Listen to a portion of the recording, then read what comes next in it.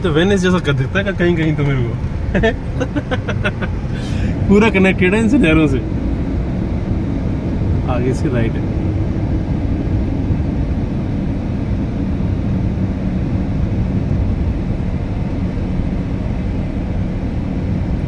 लेकिन ये होगा, शायद बारिश में ज़्यादा होंगी।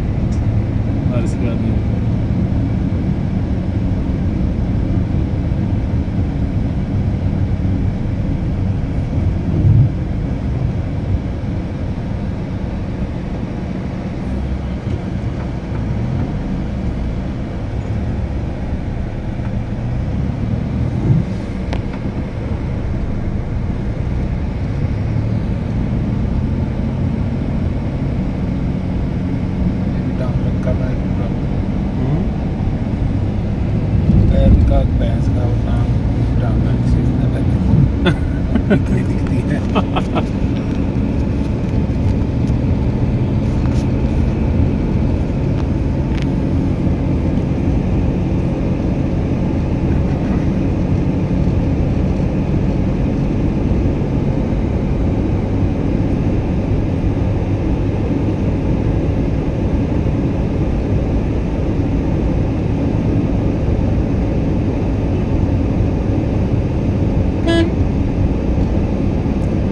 दो किलोमीटर बाद लेफ़्ट है।